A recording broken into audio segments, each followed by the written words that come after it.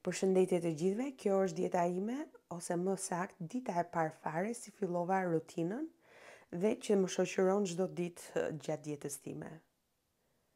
Në mëngjes kur zgjohem pi lëngun me limon, për persona që janë të rinj në këtë kanal, është një video me titullin uh, Këshillë dentare, një këshillë dentare si ta përdorim lëngun me limon gjatë dietës tonë. Shkoni atje dhe aty është standardi i përgatitjes së lëngut të limonit për masat e ujit dhe madhësisë së limonit. Uji me limon përveç se na ul oreksin, ka dhe atë funksionin e mrekullueshëm që pastron mëlçinë nga toksinat. Ju lutem mos harroni të përdorni pipat. Kjo është një ana ime. e kam të fushës.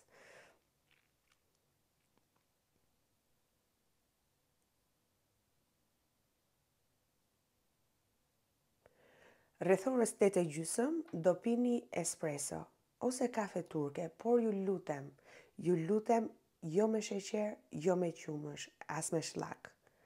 Ju lutem sepse është shumë e rëndësishme, në qoftë se i fusni këto tre komponentë, dieta është e prishur, mos mos prisni dhe mos i rrisni shpresat që do humbisni peshë.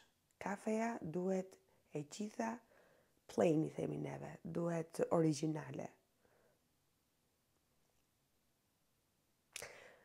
Rreth orës dhjetë, përgatisni mëngjesin tuaj. Ky është mëngjesi që edhe pse keto diet nuk i lejon ëmbëlsirat, flasim për dietën e pastër, Për personat që janë mbi tetëdhjetë kilogramë, unë do doja që ta fillonit me hapa të vogla, sepse rrushi i thatë që do përdoret është sheqeri natyral.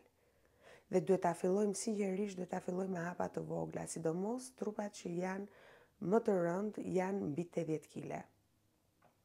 Këtu po tregoj edhe për masat dhe do zbatojmë për masat. Është tre të katërtat e kupës.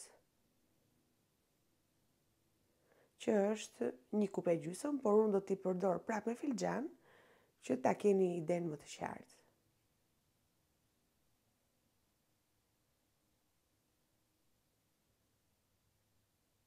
Domethënë, do hedhim tre kupa që janë një e katërta.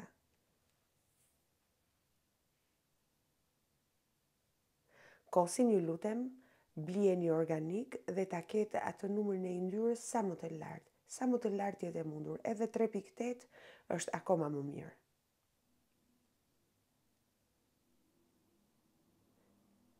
Tani jemi tek përmasat e filxhanit. Siç e shikoni, filxhani është pothuajse një gisht edhe një çik bosh.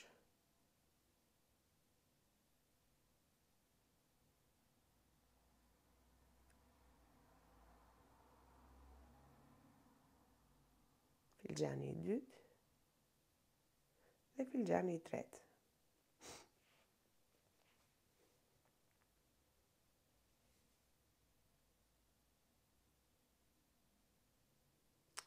Një lugë gjelle me stafide, nuk e di si thoni rrush i thatë, Dhe tek tasi tjetër një lugë gjelle. Këtu masat janë të barabarta, janë të njëjta. Do hedhim një të katrën e kupës me pikanët, me arrat e gjata. Është shumë e rëndësishme. Ju lutem mos i shmangni këto hapat e vogla.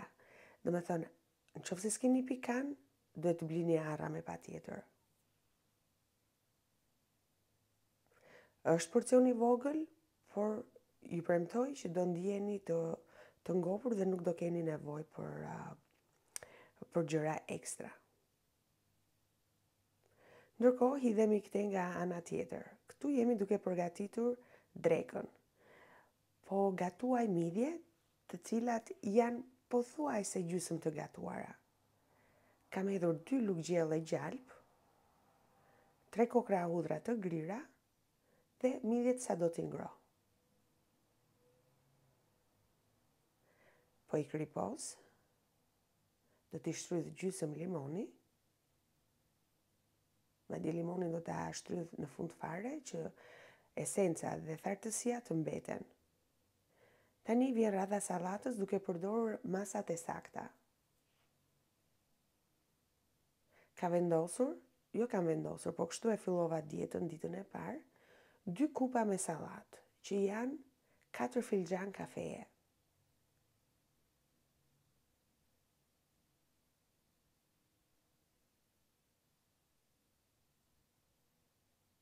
Një kupë. Dhe pjesa që ka mbetur në këtë rast është një kupë.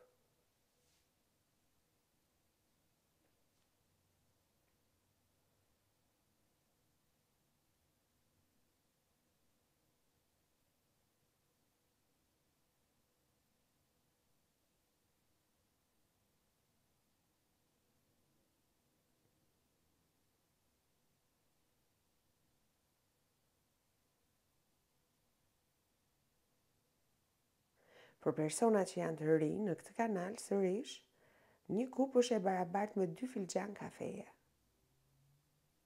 Atëherë në pjatë kam dy porcion, më falni, kam dy kupa me perime. Që në këtë rast është sallata. Filloj me perimet e tjera. Do përdor gjysëm kupe që është një filxhan kafeje.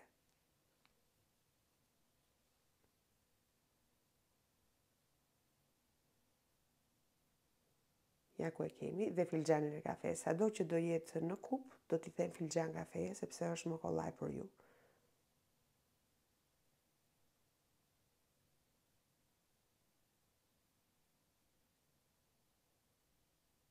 Atëherë kemi dy kupa e gjysëm tani për tani.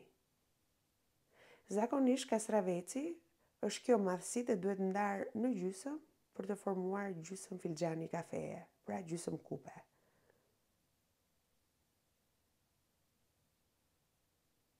E presim në pjesë të vogla. Dhe të shikojmë, do ta nxejë kupën apo jo? Domethënë, do e, e, e mbushi kupën plot? mbushi kupën plot. E mbushi kupën, nuk durohet më. Shprehje me vënd. e mbushi kupën. Si, siç e shikoni, kupa nuk është mbushur, kshu që po i shtojmë edhe disa feta të tjera, katër në këtë rast.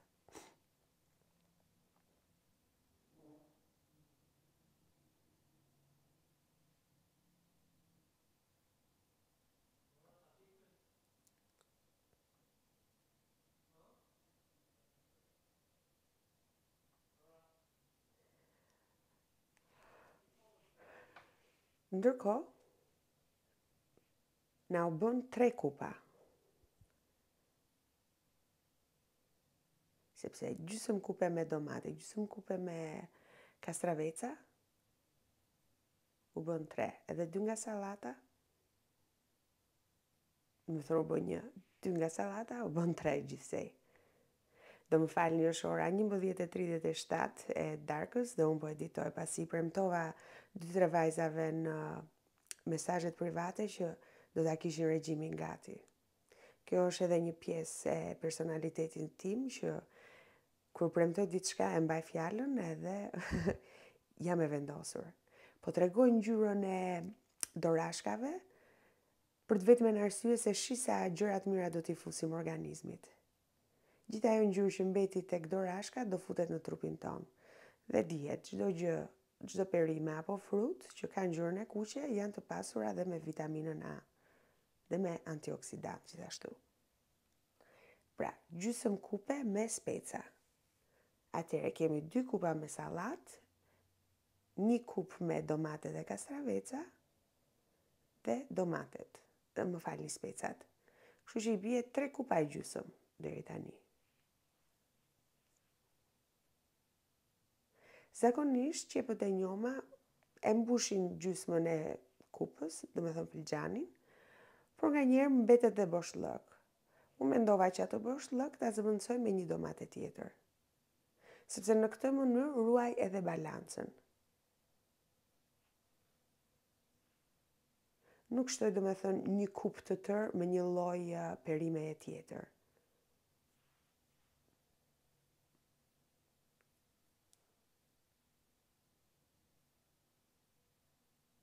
Sepse kjo ndodh. Gjatë kësaj diete është e mira kur përdorim kupa pasi ti e ke nën kontroll, ti mund të hash edhe vetëm sallatë jeshile edhe kastravec. Mjafton që të krijosh atë raportin, të hash katër kupa me perime në vakt. Gjithmonë flasim kur kemi dy vakte. Ja dhe domatja që po flisja pak më parë. Për shembull, unë në qoftë se dua të ha vetëm sallatën me domate dhe nuk dua as qepë as kastraveca, e bëj dy kupa me sallatë dhe dy kupa me domate.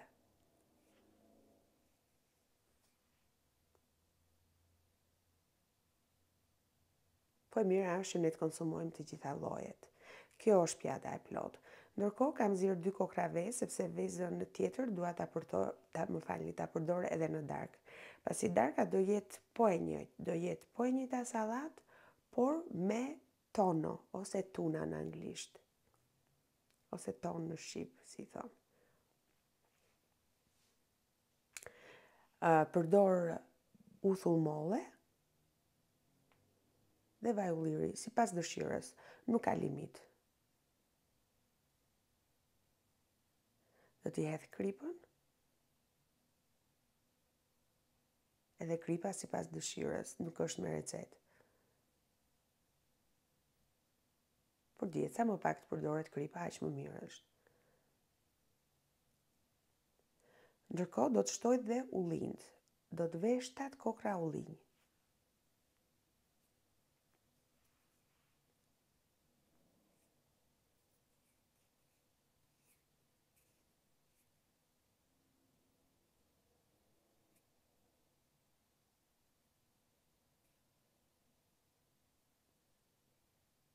Kam bërë gati gjysmë avokadoje dhe tani po e pres me feta.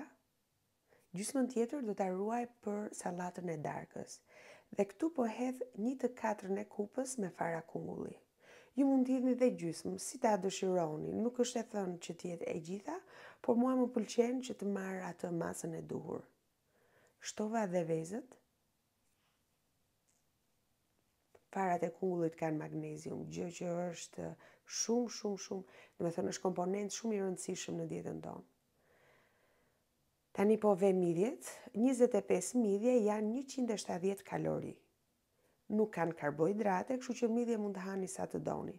Por sërish, në qoftë se porcionet janë të kontrolluara, është akoma më mirë. Dhe unë vura një kupë e gjysmë. Numërova Tridhjetë e pesë midhje.